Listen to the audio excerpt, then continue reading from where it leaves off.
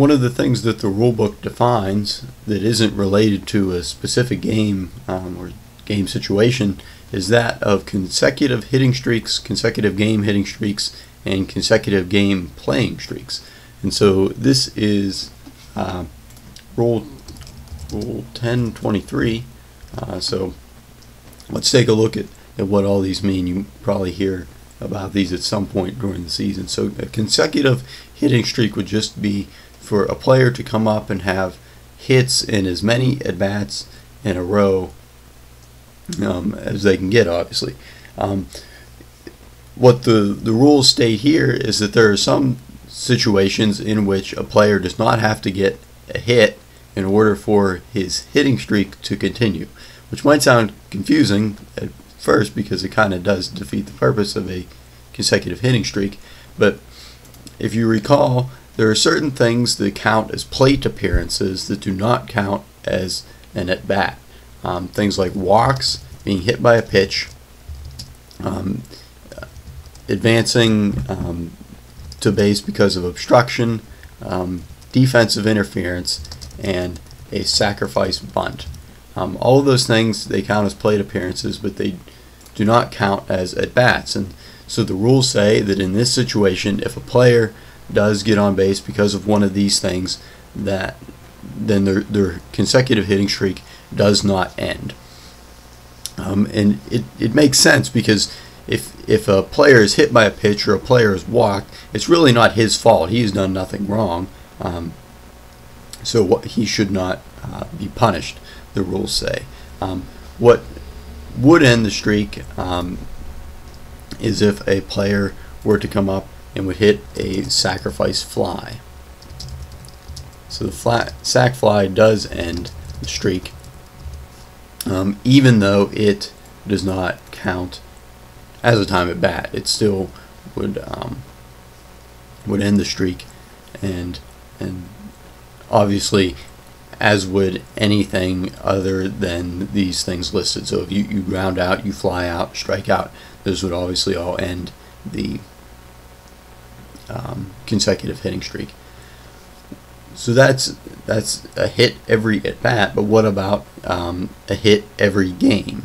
And so basically the to to maintain your, your hitting streak, you have to have one um, plate appearance in that game. So you have to, or one at bat in that game. So you have to have actually played in the game. If you have an off day, maybe your coach says um, you can have the day off. Your consecutive game hitting streak does not end um, just because you do not play that day. So so it's basically put on pause until the next day. You actually have to play in the game, um, have one plate appearance um, in order for it to count. And and actually these same things here, these all apply down here as well. So if if you do get into the game, um, whether it's it's one at bat or it's five at bats, and something in the the top row here occurs, maybe you get walked five times um, in that game, your consecutive game hitting streak does not end because it the rules are essentially saying it wasn't your fault, so we're not going to punish you. Your streak uh, will continue. It will still be alive there the next day whenever you come back. Um, obviously, things that would not apply in the consecutive game playing streak. So you you do have to play in the game, um, in every team game, to maintain your consecutive game playing streak. Um, but how much do you have to play? Uh, so the rules say that in this situation, you do have to um, you have to play. Uh, let's find the right color. You have to play um, either one half inning, one half inning uh, in the field, or, or on defense or complete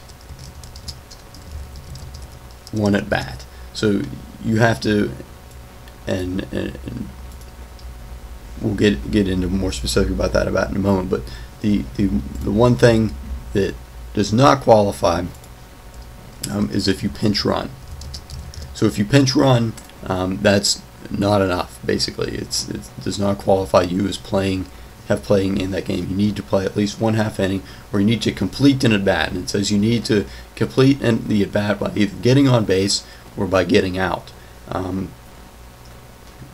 so if you were to get up and maybe uh, hit a foul ball that hits you um, on the foot and you break your foot um, and you have to leave the game, you do not complete your at bat, and therefore um, your streak would end because if at least if you had to leave the game, then your streak would end because you did not complete your at bat.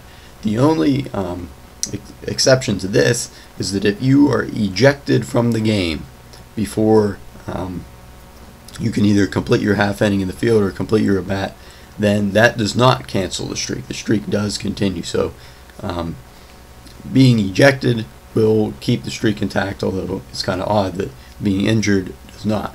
So, so these these are the things that make you qualify for having played in that game. Pinch running um, does not, and and you won't hear too often uh, people talk about consecutive hitting streaks, but but the, these second two are more popular. So of course, um, the the um, record for consecutive games in a row where a player uh, got a hit was 56 games um, by Joe DiMaggio, and he so he had um, 56 games in a row where he he had a hit. And then as far as consecutive games played in, this was uh, Cal Ripken Jr., who he played in uh, 2,632 games in a row. Um, lasting um, very long time from 1982. He played every game for the Baltimore Orioles, um, and his his streak finally ended in 1998. So um, those were are both two two records that you hear a lot about in baseball that are um, both considered um, highly unlikely to ever be be broken um, again.